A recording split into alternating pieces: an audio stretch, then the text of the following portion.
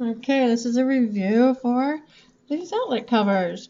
And it's not really a whole lot to say about them. They are covers for outlets. so there you have it.